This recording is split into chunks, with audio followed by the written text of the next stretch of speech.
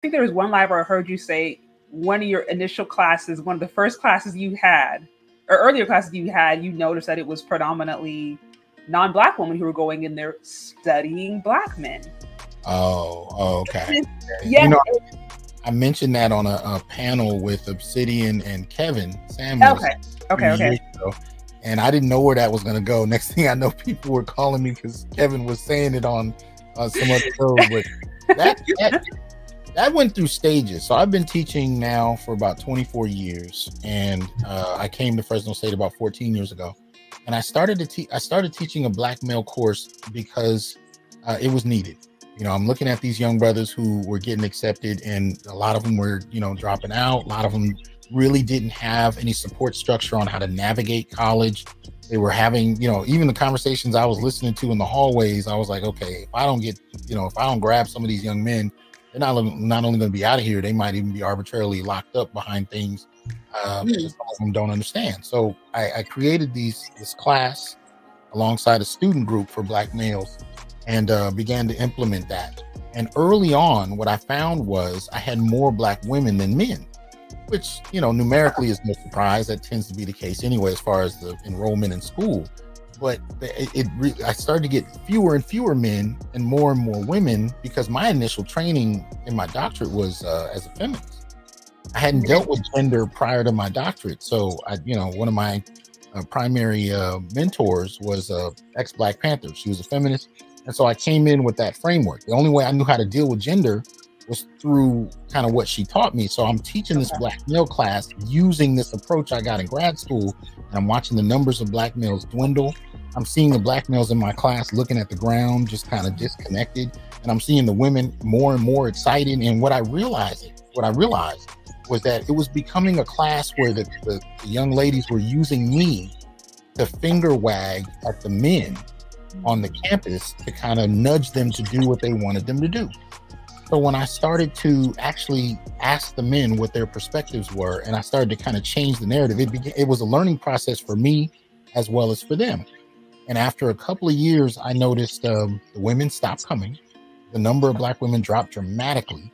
The number of black males started to increase. And then after that, a couple of within the, the next couple of years after that, I noticed I started to get this population of white white women. Yeah, I know why they were there. You know, I didn't know why they were there. And when I began to kind of ask them, you know, in the hallways, under the, you know, why, you know, why are you taking this class? You had to be careful how you do it. Um, and I started to find, oh, oh, well, my boyfriend is black, and I want to understand him and his family. Or, you know, I'm, I'm, I'm trying to date some of the men on the basketball team or football team or whatever, whatever. But I don't understand them. So, they, so they were doing research. They're getting A's. Yeah, very smart. Very smart it's a weird thing where I got to give A pluses to white women in a class on black males because they are handling all the homework assignments and reading everything to a T. They're asking me about the citations that were made by the author. I'm like, good lord. But they were serious. They were they were doing research and they were serious about and and I would say, you know, another three or four years after that, I noticed the population shifted from, you know, white women to Latinas. And the Latinas were coming in with the same kind of intensity um, the same kind of questions, the same and the same motivations. They were dating black men, and this is this is Fresno. We're in Central California, mm, so yeah, no, black and Latino relationships here are are not a strange thing by any measure. So yeah, well, and and again, go back to your early like because I said this is kind of what this conversation was born out of. This whole topic of grabbing your passport and SYSBMs yeah. and the controversy behind that, and it's like you're literally telling me that you had a class that was dedicated to black men where black women have an opportunity to study their men understand what they're going through understand how to relate to them better. And instead of us doing that you have other women of other ethnic groups other races going in taking notes using that as ammo to get the quote unquote best men out there. Yeah. so it's like how can you compete with that this is this is based upon what you just said it's like this is why they are winning our men if, if that is such a big complaint this is mm-hmm. why these other women white women latinas asians this is why they are winning or stealing however you want to put it our men because mm-hmm. they're actually interested in their in their interest like i said it goes back to you know, when I asked you a few minutes ago, I was like, why are black men asking for so little? And then you go in to say, well, they're kind of used to that. They're socialized for that. You know, there's all this kind of, there's all these complicated dynamics. And if you meet somebody who give, you're asking for breadcrumbs and they give you a sandwich, it's like, oh yeah, like, oh, yeah. whoa, what is this? You know? No, uh, Patrice O'Neal, my one of my favorite comedians, he had a whole bit where he talked about the power of okay, like having women that actually say okay. You know, can you give me a glass of water? Okay, and he was like, you know, it was mind blowing to hear a woman say it.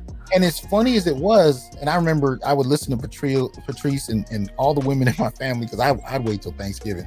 And then I'd sit there and listen to Patrice, and you know, the women would get more and more quiet, laugh less, less and less, and I would laugh more and more because he was tapping into something that I didn't know I was mm-hmm. frustrated about. I didn't know I was curious about. And he was kind of gently raising these concerns.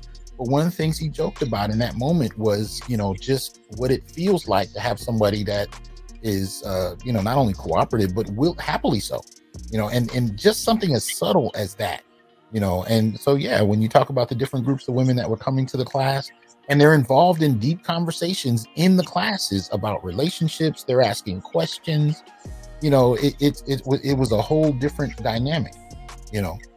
Now, um, do you do you think the concern was? Do you think that it was genuine, or do you think some of it? Because I, you know, I, I, see some in the comments like, oh, they were kind of using it as ammo, just for fetishization, but they don't see them as real men deserving of love or respect. I mean, did you see? Do you think you saw some of that woman using that as a way to try to manipulate better? Do you think there was a genuine? Like I said, I've been teaching for 24 odd years, and I can tell you uh, the the the way they came to the discussions, the way they participated. Yeah, there was a, there was a lot of genuine, you know, kind of behavior, a lot of reflexivity. They're talking about their experiences. They're asking questions with a kind of genuine, um, you know, kind of sensibility about it. Um, I don't think any of it was was you know was really performed in that way. I think what what was what threw everybody was just that anybody was interested in even having the dialogue. You know what I mean? It wasn't it wasn't like they were coming to class looking for boyfriends in the class. You know, they were coming to class to learn about black men because of the black men they were already dealing with. So, you know, so it was a different kind of sensibility and there was an earnestness to the dialogues that were happening that even black men weren't used to and it was kind of a strange thing. It wasn't negative by any means, but it was it was different because when black women were the majority of the class, a lot of it was very argumentative. Uh, a lot of it was very uh, critical of black men. I mean, I remember there was one class very early on where this young man had come out the military. He's over six foot three. He's you know well developed muscularly. He's almost done with his degree, and he was a virgin. He was a Christian. He was a virgin, and you know he mentioned that in class, and the entire class of women went off on him and were trying to emasculate him at, at every turn. And I actually had to stop them because they weren't about to stop themselves. And it was just like, you know, why would you come to a? I mean, picture that. Picture a black a class on black women where the majority of the class are black men who come to talk about how horrible black women are. Like, what? When would you see that actually happen? You know what I mean? would it? And then everybody's tearing into one woman because she hasn't had sex yet. You know what I mean? It, it's it was that kind of dynamic. But the, the level of low key hostility, what Kevin used to call low boiling contempt, was so palpable that um, when that shifted over in the next couple of years, it was a strange thing to notice. Like, so even if there were somehow, uh, you know, chameleons that were getting over on us or whatever, the level of hostility and it, it was far less than what it had been. So, you know, um, it was strange. But I can tell you the class has been an interesting kind of lesson in racial dynamics because uh, yeah. white, white men made their appearance too. Um, and they made their appearance in the form of a military recruiter and a police det- uh, detective who came to arrest one of the students. So, wow. so if you look at it symbolically, you have white men, black women, and Hispanic and Latina women who have all made their presence felt. And the most hostile were black women and white men to the very idea of studying black men. Right? The military recruiter wanted to take these men out of college and, and put them in the military. And of course, the detective wanted to arrest somebody. The women, the black women wanted to denigrate the men in the class and finger wag. And then you had white women and Latinas who wanted to take notes and ask questions. you tell me who's the most hostile out of that? You know, it's so sad to hear that because it's like I get these, I hear these comments all the time in my page where you know, it's essentially men are venting and they're like, you know, black women sold us out to white supremacy, or you know, black women they're the biggest white supremacists, so you know, essentially things on that line, and it's like, you know, I never want to. I'm never quick to just paint a broad stroke and just say, well, all black men are this or all black women are that, because I'm like, that's just simply not my experience, right?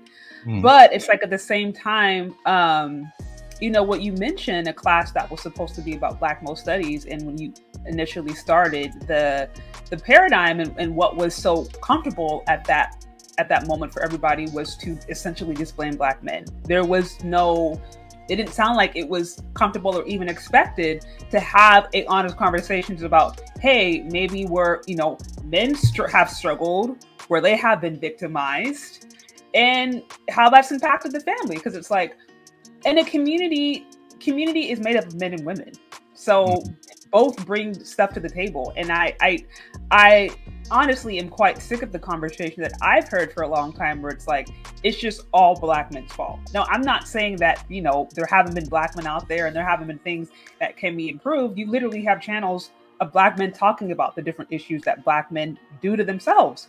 But it's like this cult, I think this culture of, again, you can't you can't also go shine the light on women or you're being misandrist or you're being mm-hmm. you know everything other than the son of god. Like it's just really not healthy. And you know again going back to when i asked this simple question how to support black men practically and i was shocked and not shocked at the response and the behavior and it resonated with me so much. And i thought even when I, you know, I'm thinking about this different conversation in the pygmy space and the different, you know, female content creators that yeah. I love what they're doing and I love how we're having this conversation.